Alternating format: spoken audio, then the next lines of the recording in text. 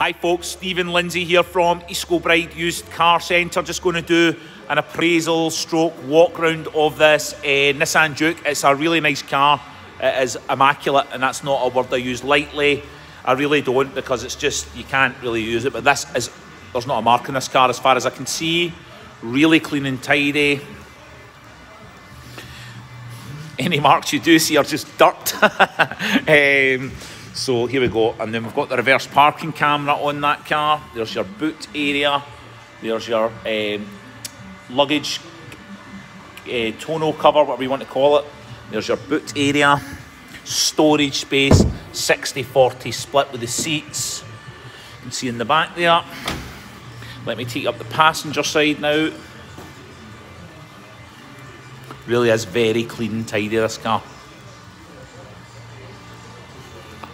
And then I'll walk you, let you have a look inside the car.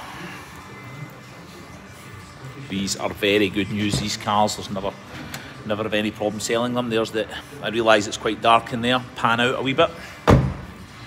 Take you in here, here's the passer, complete with the Nissan mats.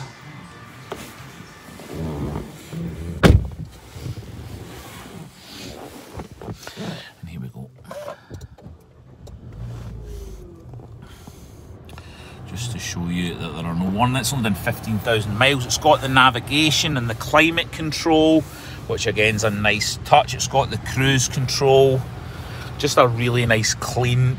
Sorry, it's not done 15, it's actually done 30,000 miles, 30,902, okay? Just to be uh, exact, sorry, I must have been, that must have been the trip I was looking at, so at least I've, I've got to the bottom of that. This is partial leather upholstery, with the rest is Alcantara, they call it and it's just as I said a lovely car. The first person to come and see it will definitely buy it okay?